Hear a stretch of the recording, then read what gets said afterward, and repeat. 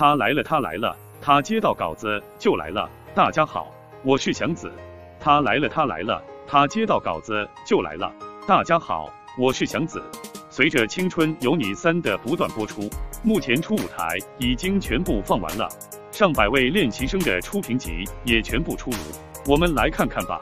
首先是 A 班级的，进入 A 班级的一共有八位练习生，分别是段星星、刘炫、梁森、罗一舟、孙颖浩、魏宏宇、徐子墨、于景天。其中于景天、梁森是人气很高的成员。B 班一共有二十三人，A 班没有那么容易进，但是 B 班的练习生其实也不差。B 班的很多练习生其实都是唱跳都在线的。可能是因为两方都比较平均，所以导师们只能给一个 B 等级。因为进 A，他们还需要尽情努力。网红艾克里里进入 B 班，应该是很多人都没有想到的吧？不是说他的实力不配进入 B 班，而是大家没有想到艾克里里他真的很有内容。在初舞台上，他表现沉着，与往日的搞笑网络红人判若两人。成为网红之后，他思考了很多自己未来的发展，所以他沉寂了一段时间，开始去学校唱跳、音乐创作。在初舞台上，他表演了自己的原创作品《Thank You》，歌曲并不难听，甚至还有点惊喜。歌词内容也不肤浅，而是讲述了人生经历感悟。C 班的人数比较多了，总共有四十八人，毕竟参加选秀有一百多号人。能够到 A 和 B 的都是导师很喜欢的，要能够被导师喜欢，也得对上四位导师的胃口。如果没有对上，只能是 C 班了。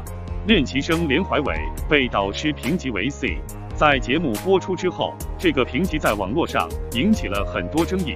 很多人认为，这里不仅是连怀伟的粉丝，还有一些路人。连怀伟的初舞台虽然不是说能够进 A 的程度，但是在 B 等级还是有余的。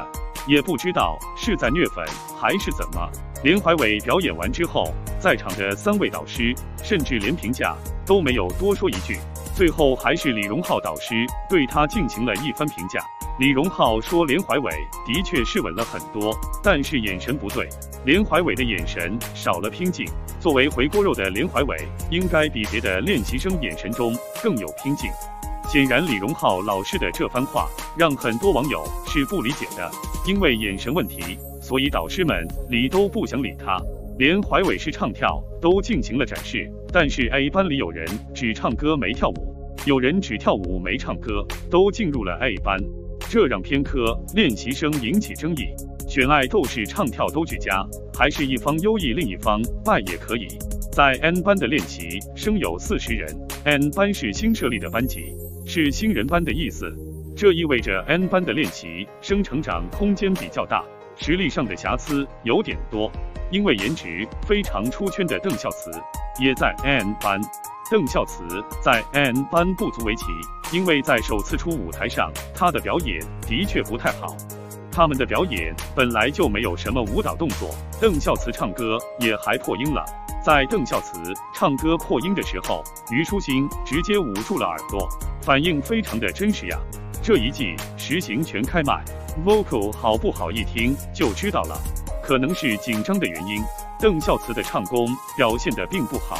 很多网友说，邓孝慈还是当个美男子吧。你们认为这一次初等级评价，谁是你的意难平？And 他走了，他走了。右下角点个赞，再走啊，老板。